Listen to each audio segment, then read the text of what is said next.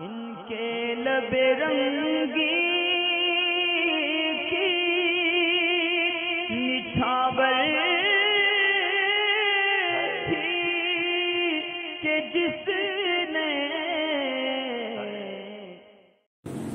अल्लाम वरहमतुल्लाहि वबरकातुहू।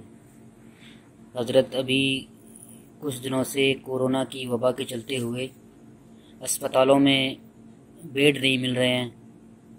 इस किल्लत की वजह से देखने में आया है कि कई शहरों में मसाजिद के अंदर जो है कोरोना सेंटर बना दिए गए हैं। तो उसके अंदर अब जब मरीज़ रखे जाएँगे तो वहाँ पे दुनिया भी सारे काम किए जाएँगे।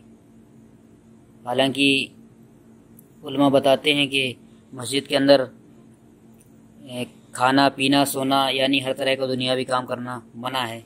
तो इस सूरत में क्या वबा के चलते जायज़ होगा मस्जिद में कोरोना सेंटर बनाना।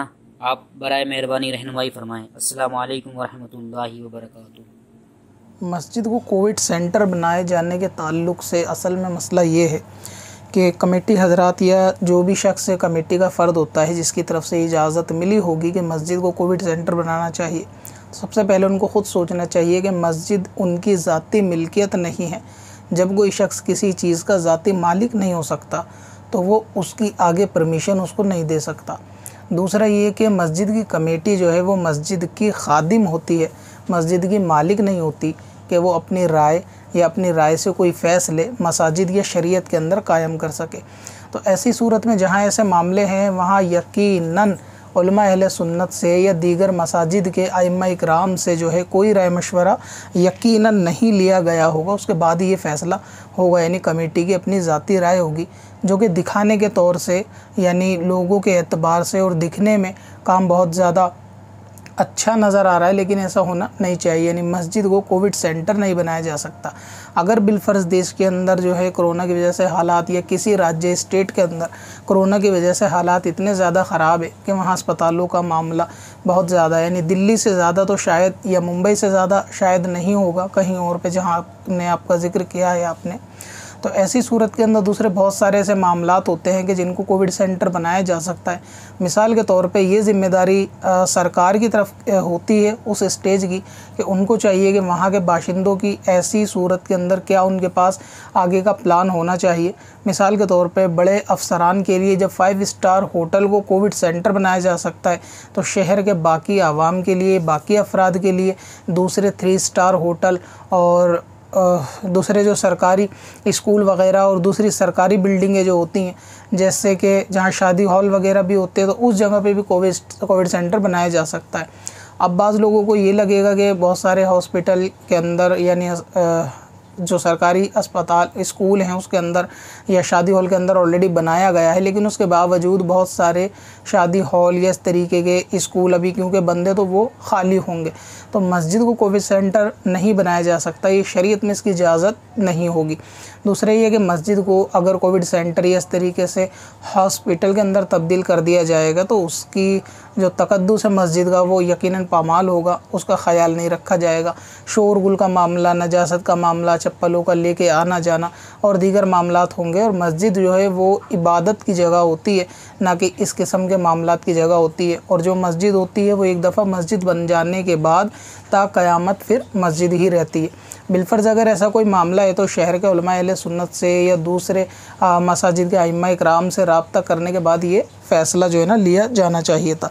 बिलफर्ज अगर ये लोग समझते हैं कि मतलब यानी कमेटी के मेम्बरान या जिन लोगों को ने इस चीज़ की आ, इजाज़त दी है, कोविड सेंटर बनना चाहिए।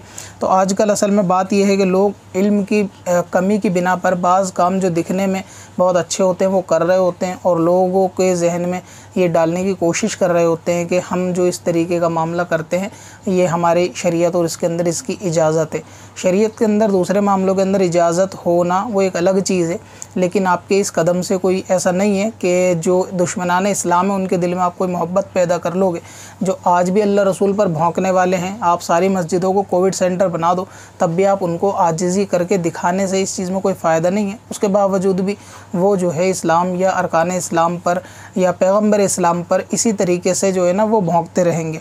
और बाज़ काम जो दिखने में ऐसे अच्छे लगते हैं, शरीयत के बिल्कुल ख़िलाफ़ होते हैं और आदमी उसको भाईचारा समझ रहा होता है। मिसाल के तौर पे आजकल भाईचारे के नाम पर लोग शिरक भी कर रहे होते हैं और उसको भी जो है मीडिया और न्यूज़ के अंदर भाईचारे के तौर पे दिखा रहे होते हैं, यानी शिरक को भाईचारे के तौर पे दिखा रहे होते हैं, जो कि यकीनन जायज़ नहीं है।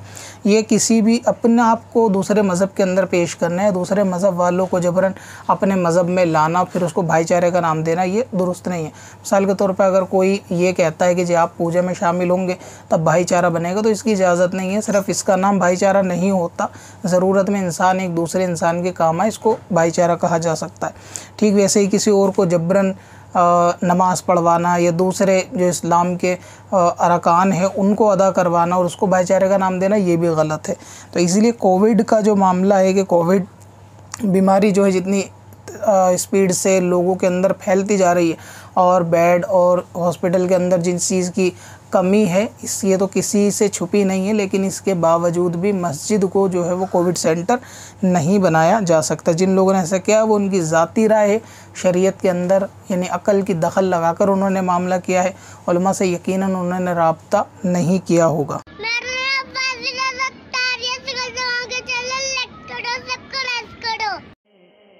में असल लाले। पुरनवा